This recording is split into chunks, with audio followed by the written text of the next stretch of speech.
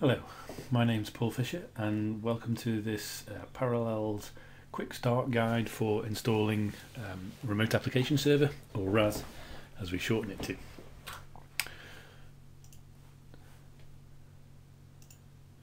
So, a quick agenda for the for the video. Um, we're going to you know, have a look at who this video is for. Um, what do we need? So prerequisites. There are very little prerequisites, um, and you know, I have sort of pre-created some virtual machines and, and I've got a domain and things like that. So just a little look at what we've got available or set up already, and then um, you know what we need to do, and then we'll look at the install steps um, and a deployment diagram just to get an understanding of you know what we set up again, and then we'll uh, you know go through the actual install. So who's this video for? Uh, well, for you, if you know if you're interested in um, setting up Parallels RAS in a, a test environment, POC, um, anything like that. And I'm going to look at two two deployments. So first off, we'll do what we uh, call uh, AOI, so all-in-one deployment. You know, basically great for testing, trials, POCs. Um, so it's just just one server that we need there really, and that will allow us to publish applications and desktops um, and get a good feel for remote application server and, and how it works and how it performs, etc. Then we'll, you know, once we've done that, we'll move into a sort of a second uh, deployment scenario that we often use again for POCs. And it's more of a high, highly available setup. Um, so, yeah, we effectively we'll have two two virtual machines, and that will give us a highly available solution that could be used in a POC and perhaps even uh, moved into production. Um, so, you know, perfectly able, viable to do that. so what do we need? Um, so we're going to need some uh, servers uh, to start off with, and, and, typically we'll put that on a hypervisor um, or a cloud platform. So, you know, virtual servers uh, are recommended. We can support physical servers, uh, but we don't see too too much of that these days, especially in you know, POCs. Um, so the all-in-one setup that we're going to do first is, as, as mentioned, it's just one uh, Windows Server 2019. Others are supported and they're sort of there on the screen at the moment. Um, but we'll we'll go with Server 2019. and then uh, for the highly available deployment, we, we just need an additional server. Uh, so effectively, so we need two Windows servers 2019 um, to install the RAS components on, and uh, to make uh, the certain component, the secure gateway component, um, highly available. Um, we're going to use the Parallels RAS Halbs, which are Linux-based appliance, and do that load balancing for us for those secure client gateways. So what have I completed already? Um, well, I, have deployed a couple of servers, 2019 servers on my Hyper-V server uh, from an ISO, and obviously, you know, even prior to that, I've set up my Hyper-V server. Um, I've also uh, got a domain controller. It's just just one virtual machine. So I've domain joined the 2019 servers. Um, I've you know, done Windows updates, of course. I've installed some applications on these two 2019 servers. Uh, so I use ninite.com for that. Um, just created a little installer. So Chrome, Edge, Notepad, LibreOffice, etc. Um, just put on there and we'll, we'll publish those as well. I obviously downloaded the installer uh, and I've copied that over to um, a shared location in my you know, newly created domain uh, to, to do the install from. Uh, that's you know there's only really one MSI um, that we need to download. Uh, it's about 150 meg in size, so not very big. Um, so we, we don't need different downloads for different server components. The the only additional download is the Halb, so the, the, the Linux load balancer appliance that we're going to deploy as well. So, in terms of the flow uh, of, of, how we're going to do the install, um, as mentioned, first we're going to do the all-in-one uh, setup. So I'm going to install RAS on my Parallels RAS 1 server. I'm then going to configure the RDSH role, uh, import as SSL certificate that I've created, publish some applications, publish some desktops, and then test the connectivity on the internal network and then I'm going to look to um, configure it as if I was setting up uh, for external access. Um, So I've got users you know, connecting, working from home, that sort of scenario. I want them to connect to my applications and desktops. So I'm going to configure that. So I'll configure the DNS for that, split DNS, so uh, internal DNS and external DNS. Uh, configure the firewall, so you know I kind of you know broadband router firewall and configure that to uh, allow or configure the NATing, I should say, uh, effectively through that firewall, and then I can test the uh, connectivity externally. And at that point, the the all-in-one um, scenario is, is set up and complete. And then you know to to create that HA environment, that second scenario that we we looked at, I'm going to deploy the second, second server. So I'm going to deploy the second server, uh, and that effectively, and that essentially is adding in uh, a second server as a publishing agent and a secure gateway and so I'm going to run and do that on the Parallels RAS 2 server. And finally we'll add that second server as an RDSH server within the Parallels RAS console. So this is what we're going to deploy. Um, so starting on the left hand side we've got that uh, firewall. Um, that will be natted to the HALBs um, so we have a what we call a virtual IP that kind of floats between those two halbs. So it's active, passive, load balancing um, for the halb element, and that will load balance the secure gateways. Um, so you can see at the top we've got the Parallels RAS1 server, and on that we've got the secure gateway, the RDSH role, and the publishing agent on there, um, and then Parallels RAS2 server is a kind of a, co a copy of that almost. So we've got the secure gateway RDSH role and publishing agent on there. And obviously on the right hand side we've got the Active Directory available to us. So that's effectively what we're going to set up. So let's um, break out of this uh, slides now, break out the slides and we can start the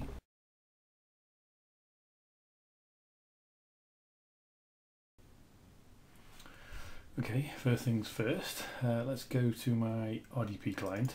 Um, so here I've got connections to some things I'll be using obviously throughout the install. We've got the the server, so I'm, I'm using a Mac Mini here with um, Windows Server 2019 and Hyper-V enabled, and here you can see I've got the, the virtual machine running the, the, domain controller uh, as mentioned.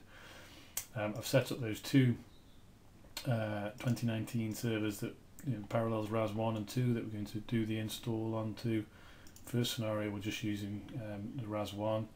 The second scenario, we'll be adding in RAS2 and then configuring the HALB. So I've, I've partly configured the first HALB. Um, I'll, I'll, go through um, sort of complete setup and configuration of those a little bit later on.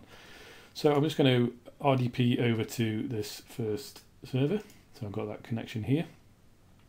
And um, go straight away and start the install. So I go here, I've got the install already downloaded. I'm just going to simply double click on that and run it up. And it's pretty much next, next, next. Um, obviously we uh, read all the um, license agreements and uh, click next on that and agree to that. We'll leave it in the default path and I'm just going to use the, the, the top uh, option. We can come into custom and if you wanted to install the web admin portal, then you would need to do that and uh, select it there. But I'm just going to go with the defaults um, and go next again. You can see it's going to add in the various firewall rules uh, that we might need incoming. And yeah, I'm going to install the single sign-on component. It's, it's optional, don't need to do that. Just makes sign in um, a little quicker, I guess. So then we'll click install. The single sign-in component, it, it's not related to clients or users logging in. It's it's purely logging into the um, the console. Now we can uh, set up delegated permissions in the console, so we can give that out to help desk engineers and the like. Um, and you know if they if they want to install the console on their workstation, um, then they can do that, and it just means they don't need to type in username and password, they could just uh, single sign in with their credentials and log into the console. Um, okay, so that's that's the first install part done really. So now we're going to launch the console and uh, do some configuration. And the first thing um, we need to do is is license it. And actually, what I'm going to do is before that is asking for a reboot, and that's because of that single sign-on component. I'm just going to say yes. Let's go ahead and do that.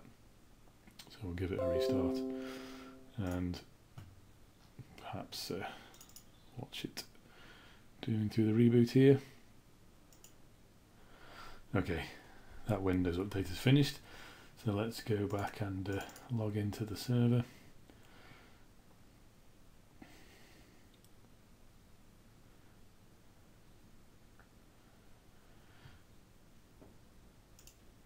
We can go and find our Parallels remote application server console there. So I'm just going to start off by putting in localhost. We can leave friendly name free. I'm going to choose single sign-on, or obviously we can put in uh, different credentials there if we want, and click connect. Now the first thing we need to do is reg uh, sorry license the um, Parallels RAS. Uh, so if you don't have a, an account and a bit, and it has to be in a business account and it's a, a My Parallels account, then you can simply click register uh, and fill out all the information there, and that will create a, a Parallels account for you. Or if you do, you can go ahead and enter your details. Let's see if I can remember mine. Okay, and I'm going to just choose activate trial version. And that account could be used you know, going forward if you, you do purchase Parallels. RAS, um, you, your your key will be associated with that account, and you can manage it there and, and split the key in, into different quantities and things like that if you want. So that's done. It's giving us a little warning: don't change the IP address. Um, you know, please ensure that it's static and uh, the MAC address doesn't change either because that will deactivate the, the license. Um, okay, so first message here is saying you don't have any um, providers or anything to publish applications and, and desktops from. You know, this video is just concentrating on session hosts. Obviously, we can support VDI, remote PCs uh, as well, and, also uh, very recently um, Windows Virtual Desktop, you know, Azure Windows Virtual Desktop. So let's take a look at what we've got set up. Um, if we come first to publishing agents, you can see there's the server, that's status OK. Just click apply because it told me up there. If we take a look at gateways, again, we've got the same server as a gateway. So the same server is a RAS secure client gateway and a publishing agent. Um, now I'm just going to do uh, a little little change here. I'm just going to call that site one rather than the host name and we'll call this POC um, POC, that'll do. Um, so we're just apply and quit those settings. And uh, yeah we'll go to session hosts. You can see we've got nothing listed there so I'm going to add in this server. Um, so I'm just going to type in localhost add that to the list. You can see it's resolved um, and also it's detected that the Microsoft RDS role is not installed. So it will do that for us so we can go next. And these are basically the admin tasks that it'll do. So add the firewall rules again required for this particular role. Install the RDS role, enable desktop experience. That allows us to um, have Server 2019 or 2016 look and feel like Windows 10 to the users. Um, re reboot if required, and I'm going to add it to that default group. Go next. Next thing is it, it will enable remote desktop user um, access and put in some groups. So by default, it will um, put in authenticated users. So any domain authenticated users will be able to log into that um, this server. Um, you could change that if you've got different groups. If you want, you can add them in as many as you want. But I'm going to leave it as default. Um, I'm not going to uh, apply any profiling technology at the moment in this um, sort of setup example, um, but we do support FSLogix and user profile disks, we can manage that you know, all through and configure that all through the uh, the wizard here. And optimizations, I'm going to just go cautiously with this, um, just because um, we don't you know know what applications or potentially you know in your environment you don't know whether certain services if we stop them um, you can see an example of it, quite a number of services that we would disable to save resources. Um, you know, as I say be cautious. Some of those services might be needed for some of your applications. So I, um, I basically just start start like this and that will do some visual effects. You can see here it'll adjust that for the user. So we'll go go next and next again. Okay so to remember. Uh, no.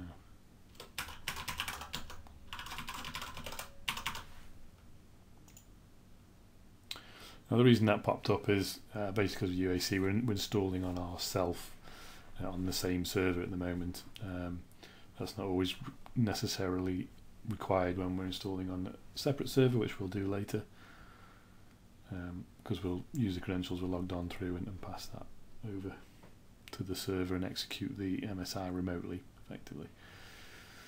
Um, but all will become clear later on that. And you can see it's going through the task, so it, it's copied the MSI uh, to itself this time. Um, it's executed it. It's you know running the MSI. It's installed the MS RD session host role, and that's done. And we can click finish. And we always have to click apply um, when we do some configuration changes. Um, so what we should see here is login disabled until reboot because we need a reboot. So just going to do that that manually. So come out of the console. Let's hit restart again. Go over and have a little look at it doing that and hopefully we won't get Windows updates this time. Okay, so it's working on the feature update, of the RDS role, Windows RDS role. Okay, that's finished. So let's go back and log into that server.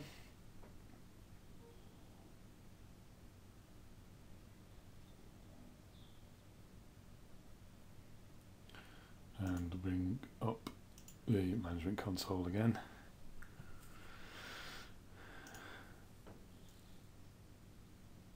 Okay, so now we should see we've got the publishing agents, we've got the gateway, and now we've got an RD session host server again it's the same server so as I mentioned earlier this is why we call it all in one because we've got all those servers or roles in one one server we can have a little look at the site overview as well um, get some stats on the various servers and, and roles there okay so next task um, we had on the list was to import our certificate so I'm going to do that. So we head over to certificates, we just click on import. Uh, we'll browse out to the certificate file. I've got that on my shared drive again. Uh, that one.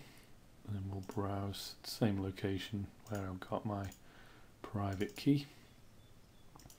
And we are going to call this connect dot remote desktop uk and the usage gateway in HALBs that's fine so we can leave that as default import that click apply that's uh, that's done.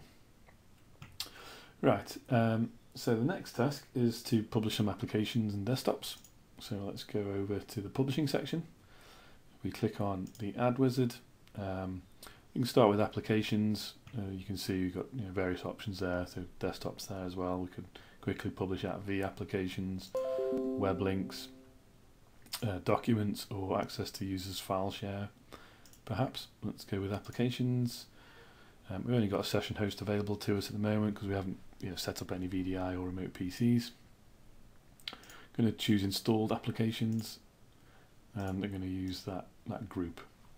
Yeah, we've only got one in, the, in that group at the moment. So you can see it's looked in the start menu. What are we going to, or what do we want to publish? So we can just go through, choose the applications, or, or perhaps a folder if we want the whole, you know, Office suite there. Um, and we'll go with some couple of standard calculator paint WinWord.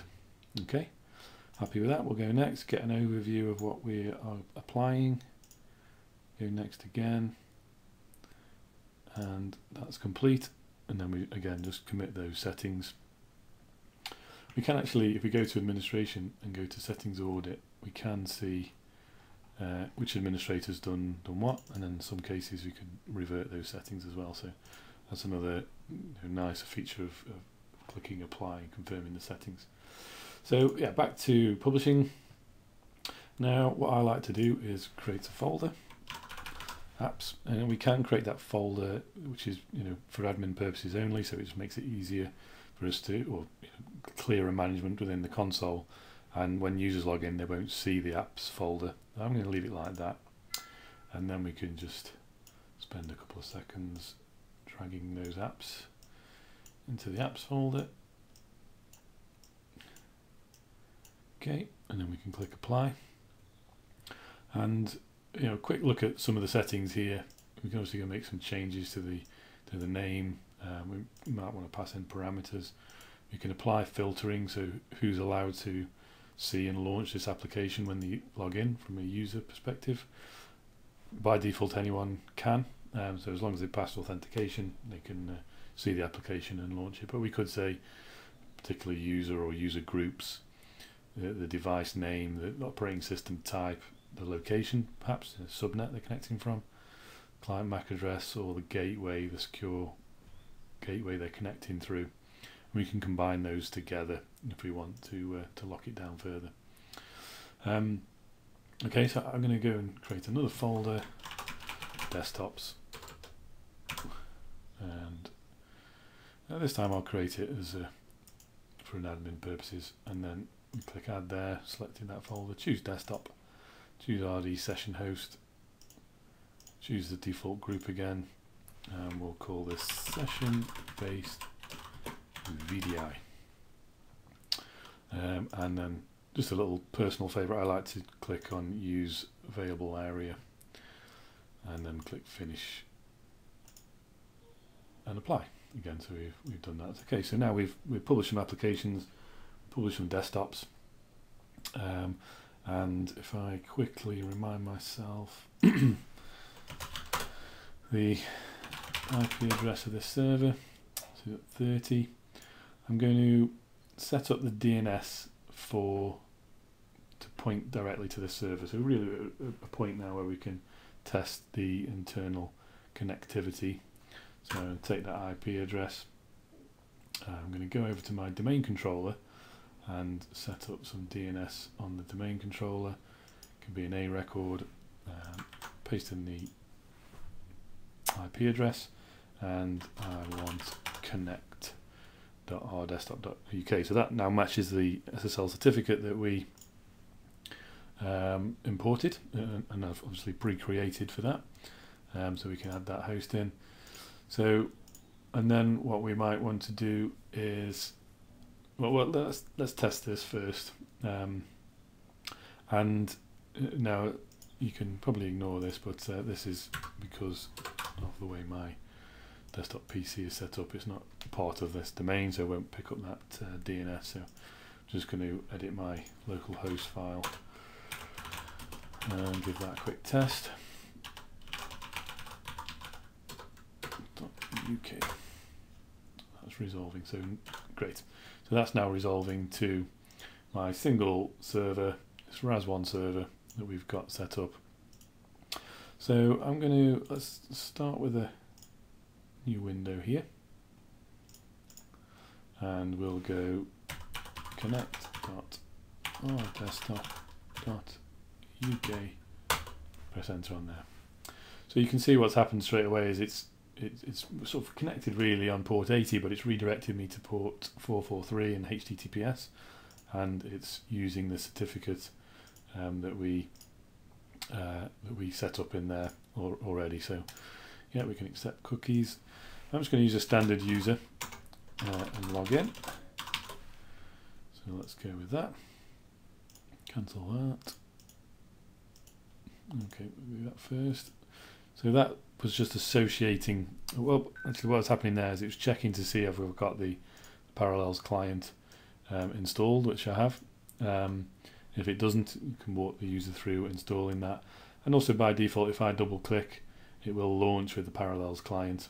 Um, but just, just to start with, I'm going to uh, right click and say open in HTML5 client. So this is going to open purely within the browser.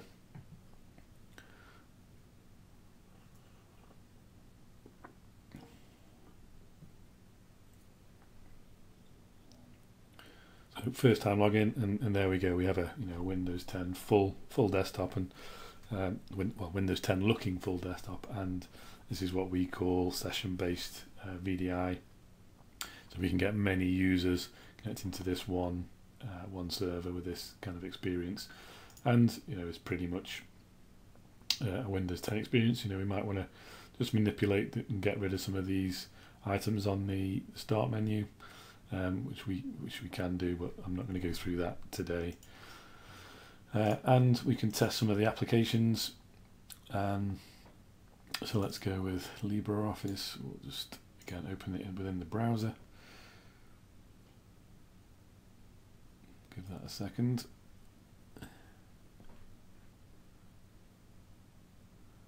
There we go. That's no, we don't want startup tips. Uh, let's get rid of that.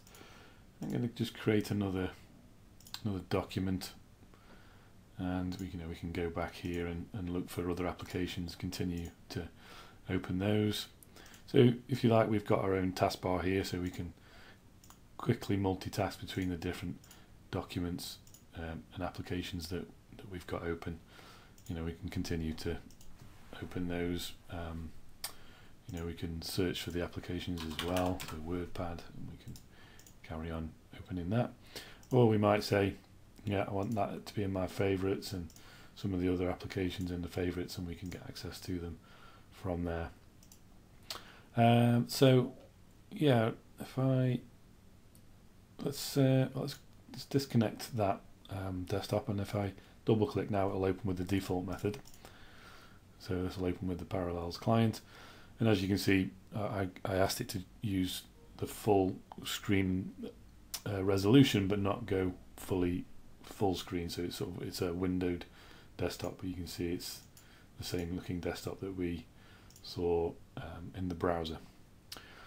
Okay so you know uh, basic connectivity done and tested. Um, so let's close out of that and let's just log out of there for now.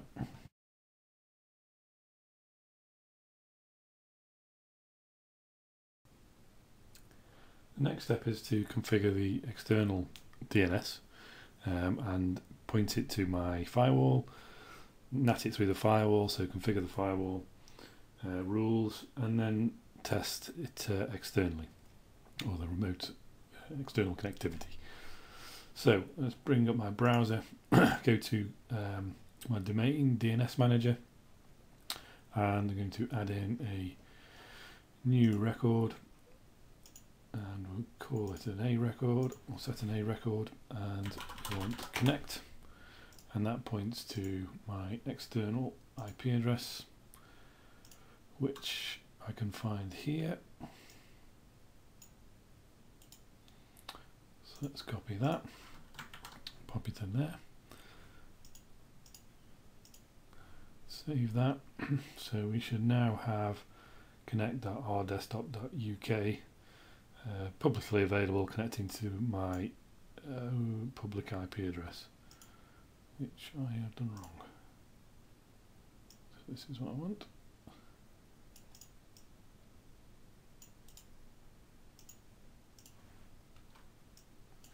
Okay, let's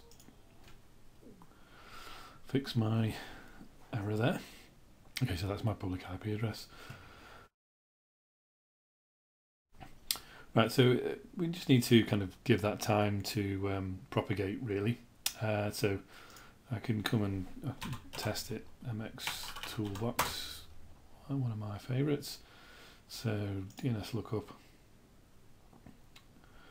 and connect our desktop.uk.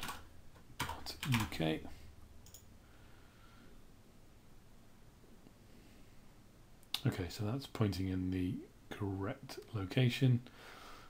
Um, next I need to go to the firewall and go to my natting rules. And you see I do have some already, but effectively we want TCP and UDP port 443 pointing to my uh, server. So um, let's just edit those and it's uh, 30. Okay, that. And edit this one. 30 as well. Okay, so we've uh, updated both of those, um, pointing to the new IP address. Um, so now we need to test externally, and for that I'm going to um, probably test from my mobile phone, uh, switch off Wi-Fi, use mobile data. Um, so I'll record, record the screen there and uh, put this into the video. As you can see, I've switched over to my mobile phone, turned off the Wi-Fi to do some external testing. So let's uh, set up a new connection. Put in the FQDN that we've set up. So connect.rdesktop.uk.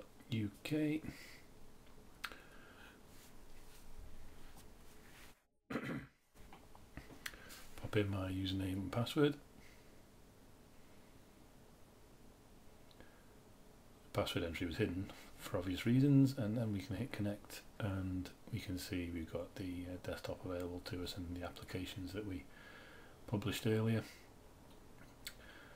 and we should see any second is a full desktop um, presented to us or from the iPhone.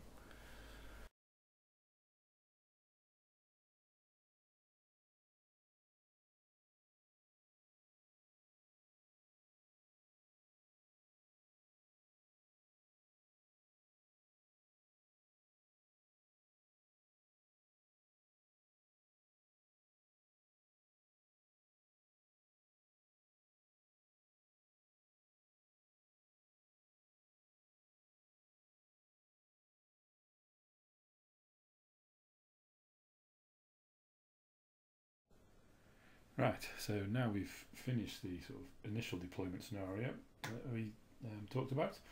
And so we've got an all-in-one server set up, we've got it um, tested, applications published, and we're connecting to it externally. Now what I want to do is move into a, a two-server scenario, a high available scenario. So first step will be to add in that second server, so the Parallels RAS2 server that we've got. So if I go over to my um, remote desktop manager. Um, I'm connected to RAS1 and we've still you know just got the, the one server which is publishing agent gateway and session host. Um, so I'm going to start by adding in the other server as a second publishing agent. So parallels ras2 desktop.uk resolve um, and I want it to install a gateway uh, alongside the publishing agent and enable the um, HTML5 gateway, add the rules, firewall rules, etc. So happy with that. Let's go next.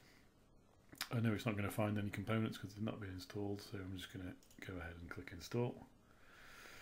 Um,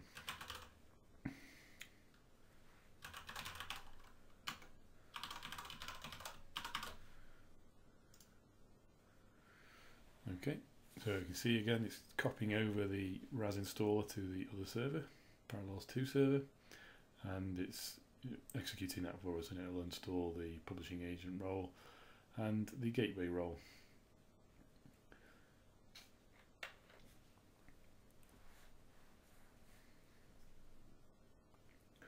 Okay, that's complete, so we can click done, click OK, click apply to commit those settings and then we can refresh here. Sometimes this takes a few seconds. So I'm going to go have a look at the gateway, refresh there, that looks okay. And come back to here, another quick refresh. No, okay, that, as I say, it takes a few seconds. We can, I'll come back to, to that. But next I want to add in the same server again as a second session host server. So you can see we're doubling up the roles on two servers and uh, becoming highly available. So we'll add in the, so we'll just put in the host name, that's ras2, put that into the list, it's resolved it for us, um, so we'll just go next now. Again, it's going to um, add the firewall rules, install the RDS role, enable desktop experience, restart the server if required, and then we'll add it into that default group um, straight away. Now the beauty of doing that is it's uh, all those applications that we published, um, because I did install those on, on both servers, will um, be, you know, I don't need to republish them, and they'll automatically be load balance then. So if we connect to a full desktop, it'll load balance between the two servers. If we run up one of the applications, again, that'll be load balanced. So we can leave that as default. Uh, I'm not going to, we're not doing that anymore. And we just were cautious with the settings that we applied here. So let's go next. That's fine. Next again and we'll let it uh, again copy over the uh, MSI, execute it again, but this time putting in the RD session host role.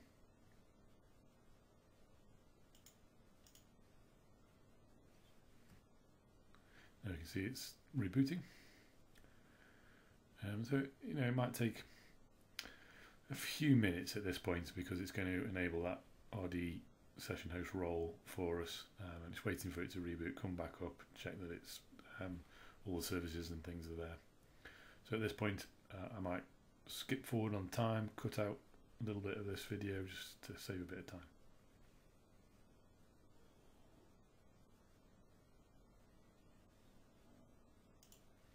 Okay, that's done. Click finish. Click apply. You see it's synchronizing. I'm going to pop down here. That's okay now. And we don't need to need to wait for that. There we go. So it's okay already. So yeah, we've now got um, the let's have a little quick look at the designer, but to show there. Um, we've now got two gateways. They're not yet highly available because we need the HALBs in front of them.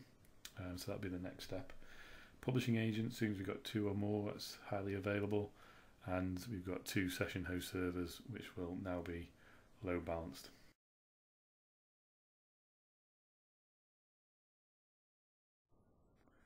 So the next step is to configure the HALBs. Um, are Linux um, appliances, so Linux virtual machines that we can deploy in Hyper-V, in VMware and you know, other hypervisors. Um, and they do the load balancing of the secure client gateways um, so you know, just to show you again, uh, if we come here, we're going to do the load balancing of the secure client gateways. Any network load balancer can be used. Um, the HALBs are part of the RAS license, um, so you can use those uh, if you want to. So um, yeah, just to show you the download um, that I'm going to be using. You can see this is the main downloads page, and that is the main RAS installer. We've got some client installations there as well. Um, but what I have downloaded already is this HALB Appliance VHD because I'm running on Hyper, uh, Hyper-V. So I've already downloaded that. So let's go to my hypervisor. Um, and I have pre-created the first HALB. Um, I will set up HALB 2 from scratch. Um, so what I'm going to do now is uh, firstly go over and get the downloaded VHD. So I'm going to copy that I'm going to go to my virtual machine folder. See, I've got the Halbert one um, folder created already. I'm going to paste it in there. And then I'm going to go back to my virtual machine, go to settings, go to my IDE controller, click on add hard drive, browse out to that location I've just copied it to, and say OK and let's create the, the next one so we'll go through the add wizard here we'll, we'll call this HALB 2 store it in that location. That's fine. We'll just go with that. Attach it to the network. And I'm going to say attach hard disk later. This is this is what I'd already done on HALB one, and click finish. And then again, if I come back, uh, I could just copy that one, but I'll um, I'll copy the original one from my install folder. Copy that back to my virtual machines. I've now got HALB two. Paste another copy in there, and then come back again and attach that hard drive. So browse out HAL2, VHD, okay. Okay, that's done. So let's start with this one. I'm going to start it up and we'll connect to the console.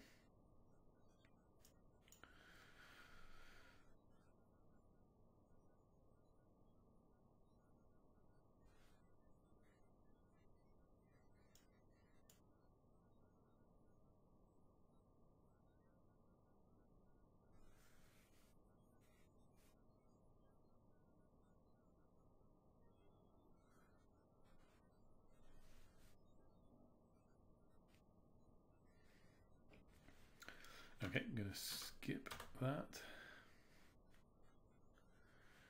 Um, and there we can see um, it's got the IP address and it's kind of basically running there. So I'm going to minimize that one, do the similar on the second server.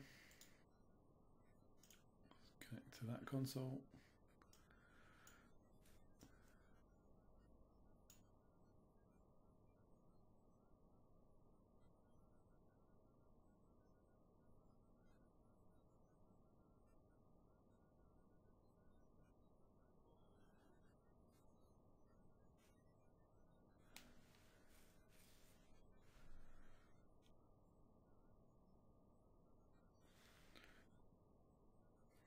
Okay, I'm just going to go with DHCP, but I'd probably advise that you um, place or set up a static IP address, certainly if you're in DMZs and things like that. So we'll just go with version 4.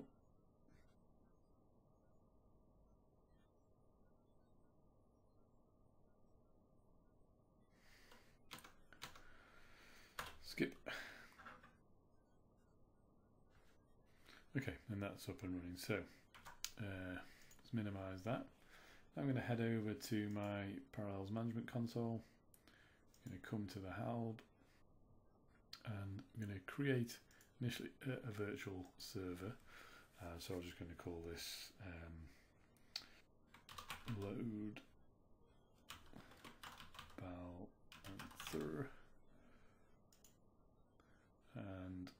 we want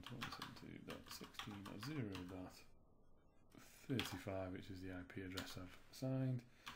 255, 255, 255, 0 is the subnet mask. Um, and I want it to um, load balance the, the gateway and the SSL gateway, so there's port 80 and port 443 effectively. Um, so there is port 80, um, and these are the gateways that we want to load balance. And there is 443, and these are the gateways we want to load balance. There, there is a couple of um, modes, so we could do SSL offloading at the HALBs, um, or we can just pass it through to the gateways. Um, I'll leave it as default for now. And then we need to add in our HALB devices. So you can see that it's, the HALB will broadcast. Um, so if it's on the same network like mine is, um, it's nice and easy. We can just add in the servers. I'll just do it one by one. Okay. Uh, so we've got our two devices that we deployed in there. Click finish, click apply, and status OK, devices OK, and we can see is that as you know as mentioned earlier, it's active passive. So um, you know 155, the first one is um, active with the virtual IP that we've just created there. So what I need to do now is to update my DNS. Um, so rather than pointing to the gateway directly, um, I'm going to repoint it to my Halb virtual IP address. So uh, let's log into my domain controller and um, connect here. Let's change that to 35. Okay. And I then need to head over to my firewall um, to repoint that from the 30 to 35. So let's go to my firewall, quickly log in there. And if we go over to natting, um, port redirection, we'll come and edit these and change these to 35. Okay. And change this one to 35. Okay, that's done. Now let's just have a quick look at DNS here, ping dot r desktop dot uk. Okay, so I've resolved my DNS, that's now pointing to 35. So I can go and test that now, so we get a new tab open, connect dot desktop dot uk Okay, and then we have our low balanced secure client gateway or um, the HTML5 portal. So we can go and log in and just give that a quick test. There we go. Same desktops and apps that we saw. And now if I launch the desktop, again, that's been low balanced um, over the two now session servers that we have. So if I come here um, come back. Let's see where the session is. Um, okay, so it's still on one, and it was because it was reconnecting to an existing session that we already had. But as, as mentioned, that they are low balanced. That's um, load balanced, and we can double check that in the publishing. We come here, publish from RD session host group, and we know that we've got those two servers in that group. So load balancing is um, done automatically. We can come and change some of the load balancing rules if we want. Default is user sessions, memory, and CPU um, sort of resource utilization. We'll, we'll, load balance the user to the most um, least busy server. Um, so that's happening automatically.